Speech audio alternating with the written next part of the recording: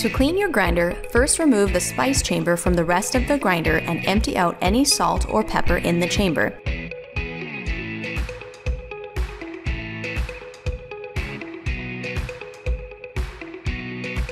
Remove the rubber cap on the bottom. Next, look at the very bottom of the grinder at the coarseness adjustment knob. Turn the knob counterclockwise to unscrew it completely from the grinding mechanism.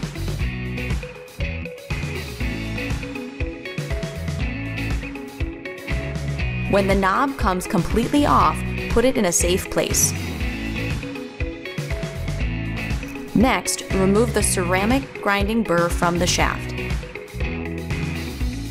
The next piece you'll need to remove is the tension spring. And the last piece on the bottom of the shaft is a small metal washer. Once you removed all of these pieces from the bottom of the shaft, you can now remove the shaft from the spice chamber. On the top half of the shaft is another small metal washer. At this point, you can brush off and wipe down any parts that need to be cleaned. Do not put any of these parts in the dishwasher and do not submerge any of the parts in water. Once you have cleaned your grinder and all of the parts are dry, you can now reassemble it in reverse order.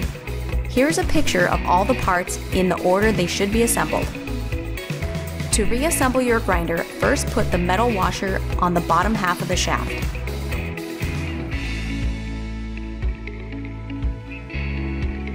Then reinsert the shaft into the spice chamber. Turn the grinder over so that the bottom is facing up and put the other metal washer on.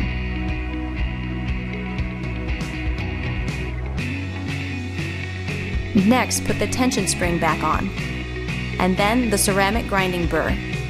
Make sure that the small end goes in first.